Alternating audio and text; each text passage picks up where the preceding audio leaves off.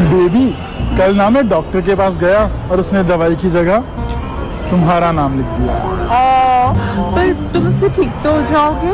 वो तो तुम पे डिपेंड करता है ना बेबी। कैसे? डॉक्टर ने बोला है कि सुबह दोपहर शाम तीन बारी लेनी है।